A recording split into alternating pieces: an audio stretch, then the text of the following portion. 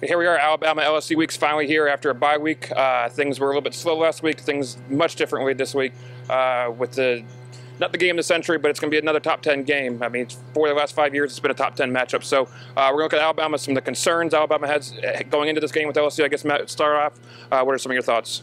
Well, yeah, these are two very good games. This game has a chance to be close, just like other Alabama LSU games have been recently. And in games that are close, kicking, field goal kicking becomes – very important, and, and Alabama has a kicker that's been very much inconsistent. Is that issues consistently throughout the course of the season, really the last two seasons, and I would put that as a, a primary concern going into this game. So Adam Griffith, I guess, has made well, like two straight kicks or something. He's up to 10 of 16 on the year. Still not a very good percentage by any means, and that has to be a concern for Alabama going into this game.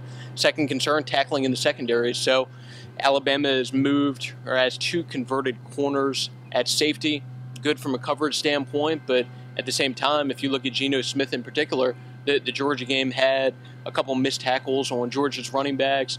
The the Ole Miss game had a, a missed tackle in the open field on a short pass that then turned into a 30-yard gain. So with, with what LSU's offensive line has been able to do throughout the course of this season, allowing Leonard Fournette to get into the second level, there are going to be be times during the course of this game when when Alabama safeties DBs have to make the tackle and it's a concern. Right. No, yeah, and I guess touch on one point with the kicking. Adam Griffith did make the, the 37 yard field goal a year ago, final play of the game to send it to overtime. So there's some history there. He has one one clutch kick uh, there. I guess the point I was going to make about Alabama with their offensive line uh, has been a concern and some negative plays, a couple of them recently.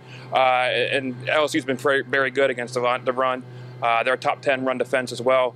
Uh, Auburn had their biggest game, probably the, the best game against them running the ball. They had uh, 160 yards, 37 carries, but one of those was a 65 yard run. So uh, consistently, they've been one of the better run, run defenses around.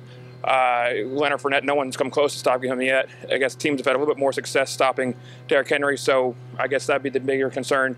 Uh, is to get him moving uh, so the offense, because all the whole offense builds around him. So uh, that'll be it for today. I'll be back tomorrow with more Alabama LSU coverage.